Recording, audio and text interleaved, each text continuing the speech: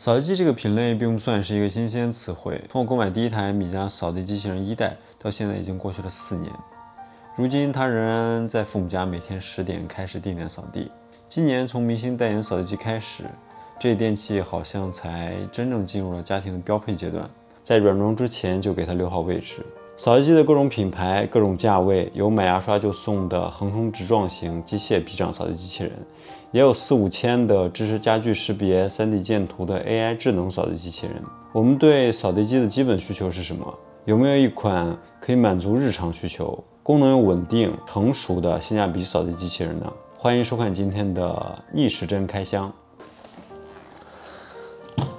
是的，这个颜色是久违的，我喜欢的百搭的灰白配色。之前的亮面黑色虽然看起来高端，但是容易被灰尘、猫毛这些弄得啥也不是。扫拖机器人二代顶盖是这种亮面注塑的工艺，其他部分是摸起来很舒服的这种磨砂晒纹。顶部装取的尘盒和更小的充电基座。它的价格公布的时候是让我有些意外的。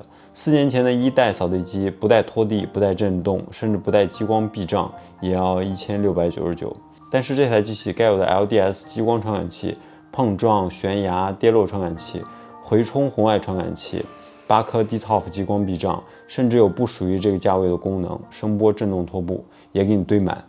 大品牌做入门款有一个好处，技术都是已经上代下放的成熟技术，不存在新奇特功能，所以不会有买回家这个功能有是有，但是并不好用，严重拉低预期值的这种糟糕体验。先从建图和路径规划说起。在开机第一次清扫的时候，扫地机会用顶部的 LDS 激光雷达把户型、家具这些固定的位置生成地图，这样就可以在米家 App 里设置它的清扫禁区。这台可以分别设置拖地和扫地的专属禁区，可以设置房间的清扫次序，比如说先扫卧室，后扫厨房，然后不同房间的水和吸力的配比都可以设置。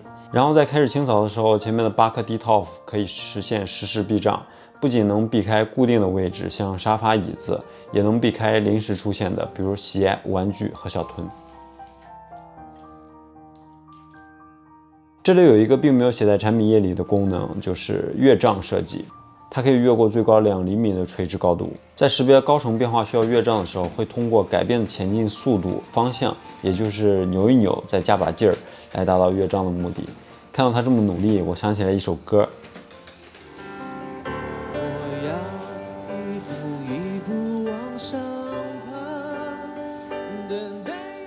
吸力方面，两千八百帕的吸力参数听起来高，但是怕这种单位听一听就好。能不能把灰尘从地面上带上来，主要还得看风道的设计、边刷的扫动和主刷对地面的拍打。用手加扫把蹭不掉的地方，扫地机吸力再大也吸不上来。这方面的技术方案整体已经趋向成熟，以后就看哪家先给主刷上能切断毛发的这种镊和刀片了。拖地方面，这片拖布它的宽度几乎占满了圆形的直径。可以在 App 里打开专业拖地模式，它的前进路线就会从一字形变成 Y 字形，就会前进和后退同时擦地。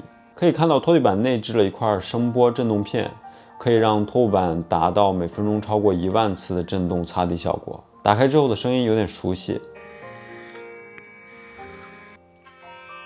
我把一包黏糊的番茄酱涂在瓷砖地面上，北方的干燥环境下搁置一个小时。我们先用拖把试一下。大家可以盲猜一下，觉得拖布更干净扣一，觉得扫地机更干净扣二。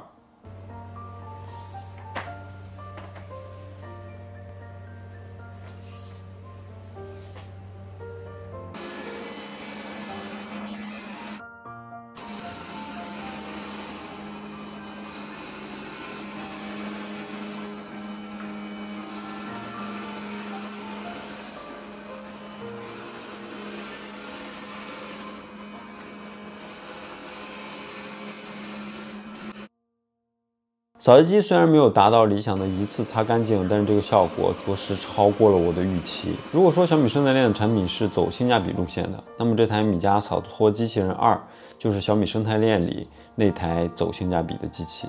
内卷成这样，要不是广告法不允许，我想在产品页里这么写：如果你还没有拥有过一台扫地机，那么这台米家扫拖机器人二是不会让你失望的那一款。